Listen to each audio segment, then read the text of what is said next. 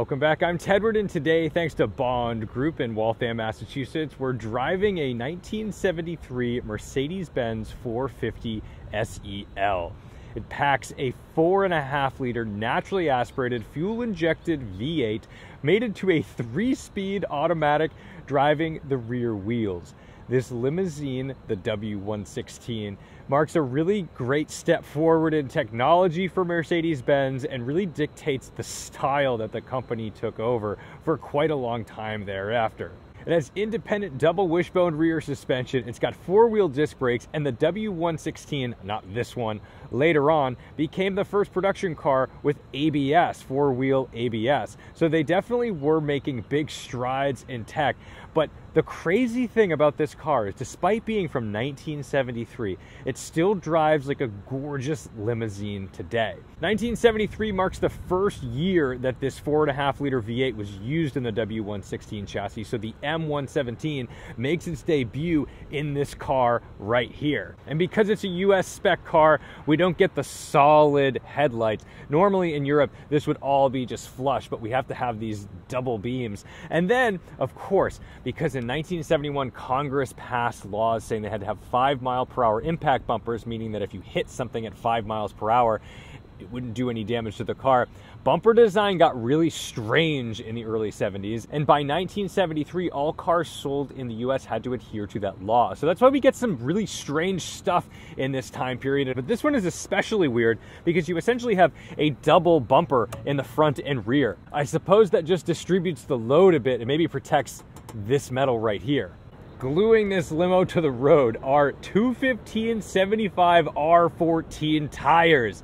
14 inch wheels with a 215 millimeter section. This is certainly not designed to get around a corner with any gusto. There's no question that it's a limousine. This wheelbase is outrageous and the length of the car makes it pretty hard to park in the city. You definitely are just parking with a valet or pulling up to the hotel and picking up your guests. I can even fit a Fiat 500 essentially between the front and rear wheels. But let me show you around the car. First, we'll start with the trunk. Pretty simple, plenty of space, and there's a bit of an elevated deck here because we do have a spare wheel and tire in the event that one of your balloons pops. And as we walk up to the rear of the car, I love how you see all the little creases. There's so many details in this car to give it an elegant vibe. And then when we hop in the rear, this door is so large. Look at the size of this. There's plenty of room for anyone to very gracefully get in and out. And once you're in the cabin, we've got tons of legroom. We've got beautiful leather upholstery everywhere, and we have an armrest. But unlike that diesel W114 or 115 that we drove, this actually does hinge on the bottom, a lot easier to put back. Up front, this is where the magic happens. A very elegant but simple design up here. We've got our HVAC controls, which are definitely dated. That looks extremely 70s, but we do have a Becker Grand Prix stereo. That looks really cool. And when we close the door, we actually have a little bit of shielding right here. So it has a bit of a Rolls Royce vibe to it. Of course, we've got to have our ashtray because naturally it's 1973, probably heavy smokers. But before we go for a drive, let me show you this power plant. To open the hood on the old Benz, we pop this up just a little bit, and then on the sides here and here, we've got a tab on the left and right. We pull those, and up we go with the big garage door springs over here. Now this one was obviously a bit of a driver, but someone took enough care of it that they kept it in running condition. Certainly not a stunner, but man, does it drive well. So let's fire it up and take it out for a drive.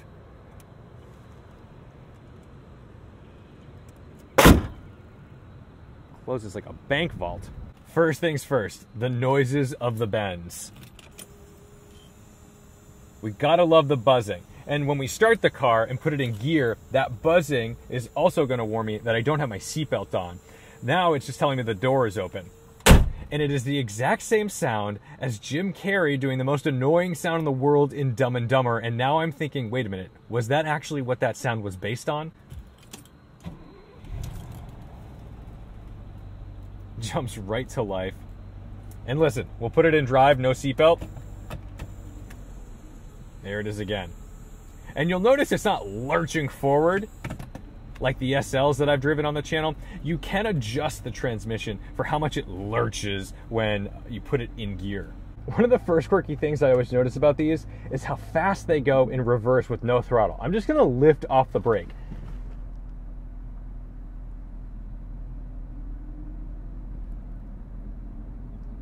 And you're off.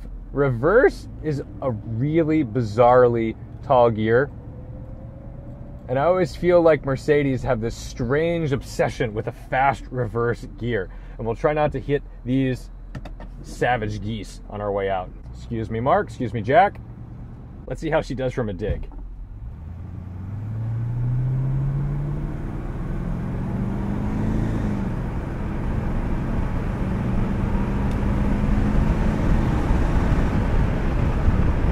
I don't think we're going to get to 60 on that run, but you notice it's shifting early.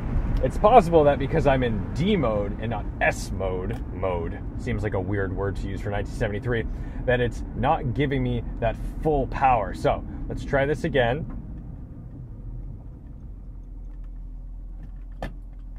There we go.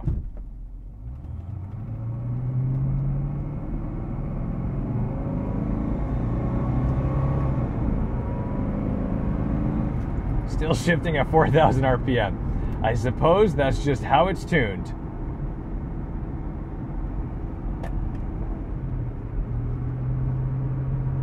But the purpose of the 450 SEL is obviously not straight line speed. Later on, they came out with a 6.9 liter version of the car, the 450 SEL 6.9. Pretty obvious. That car was quite a bit faster. This car is more about luxury, comfort, and advanced suspension to keep you glued to the road we're on a pretty ugly piece of pavement right now. Normally, I don't show this part because it's boring and it's bumpy and no one wants to watch me drive a GT2 or a Ferrari over crummy pavement. But in this, it's kind of its party trick. It's kind of the thing it does best.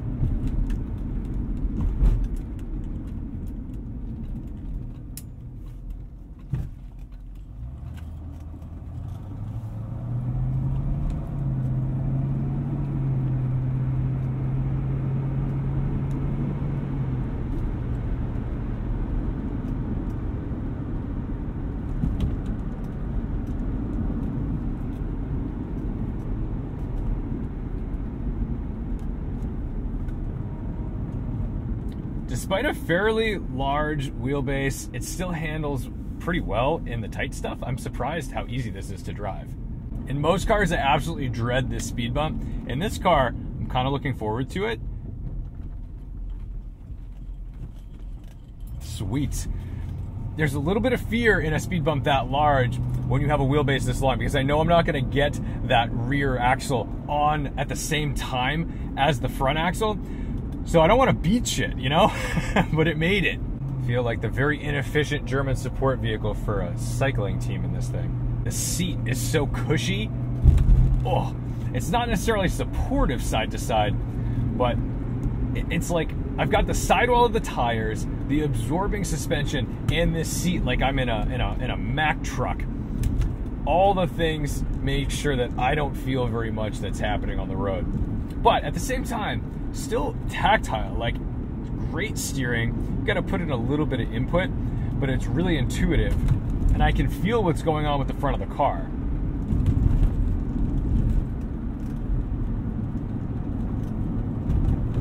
Quite a bit of body roll, but that's part of the charm. Hustling a boat. Let's test out this horn.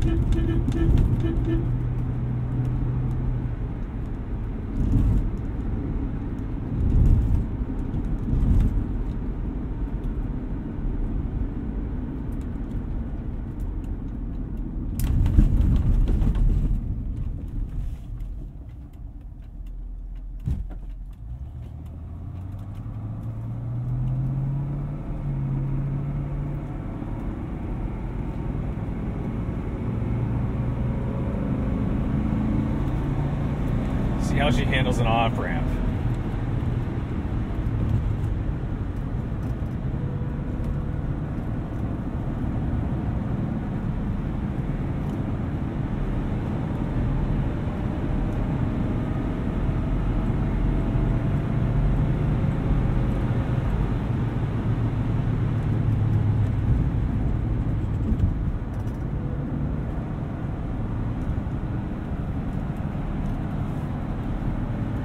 Surprisingly confident. Fast, it is not. But I'm not afraid of it. I can tell where the edge of grip is going to be. I don't know that I've ever seen anyone hustle one of these before. That was really fun. It may not look that fast on camera because it isn't, frankly, that fast. But I'll tell you, I don't really want to be squealing tires in this thing. But I do imagine if it does go sideways, you've got great entertainment factor to hang the super long tail out. Yes. Oh, this is good. This is fun. I love a Luxo barge. Let's check out the turning radius on this thing. Oh, that's pretty legit. Look at this. That's fantastic. This is great. That's what you want for your limousine because you're going to need to be navigating some pretty tight stuff in these cities, especially as a European limousine. Now, I do say, whenever I see one of these, I expect Lucille Bluth from Arrested Development to be driving nine miles an hour with a fresh martini with two olives in her hand. I don't condone that, don't drink and drive, but that is certainly the vibe this thing gives off. Just to and from the country club.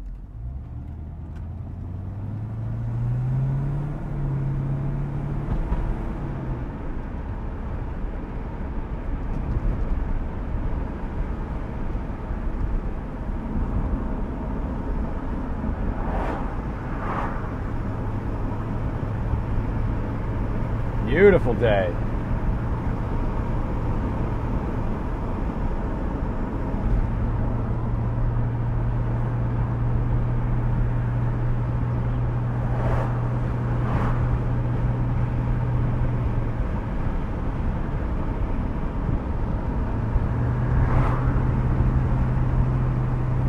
Sometimes you drive old cars, they don't give you a lot of confidence. You don't feel like you want to flog them around. You don't feel like you want to go even the speed limit because you don't trust the brakes or you don't feel like it's going to maneuver the way you'd like it to.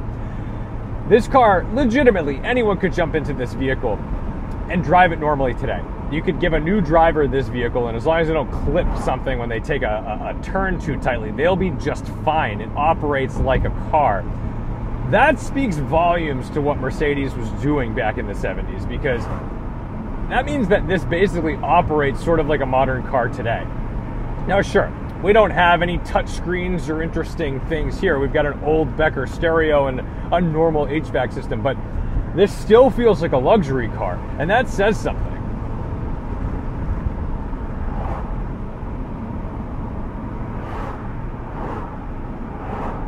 I was just talking to a friend about how an E46 M3 used to be a fast car it's not a fast car anymore. You get in it and it's like kind of a normal car. It drives well, it's well upholstered, it's got a neat, nice character to the engine, but by no means, by today's standards, does it feel like a fast car. This 1973 Benz still feels like a luxury car.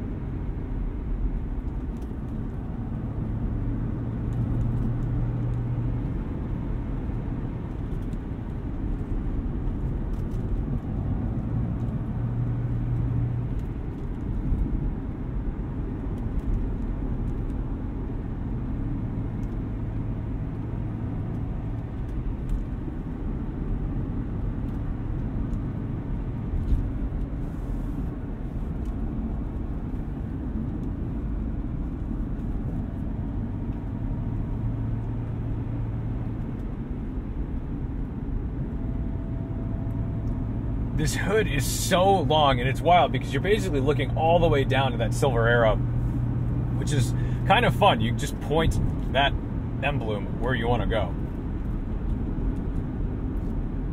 The steering wheel is enormous and it's weighted really well. It's not too light. I definitely have to put some effort into it, but it's not cumbersome. A lot of times with cars, you've got to have the latest and greatest to look prestigious. I think you could still pull into that country club today in this W116 and look classy and sophisticated despite it not being the newest $200,000 S Class.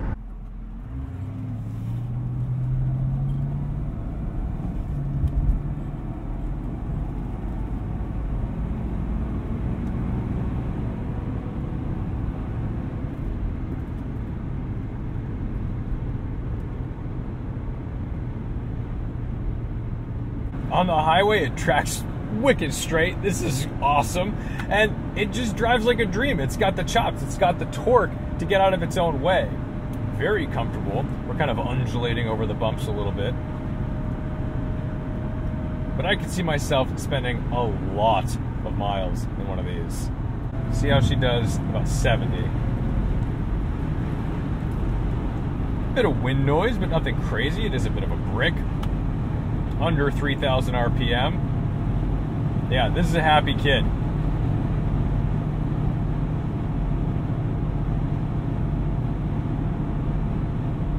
Here's a modern long wheelbase vehicle, the Audi A8L. And this is kind of the grandfather to all that stuff. This is awesome. Look at this. He's just texting and driving like a wiener. I'm going to go hustle this thing back to Bond Group in Waltham, Massachusetts. Thank you guys so much for watching, liking, commenting, and subscribing, and coming along for a nostalgic drive in the Mercedes W116 fitted with a 4.5 liter V8. Don't forget to respect the drive, and I'll see you in the next one. There's so much visibility out of this thing.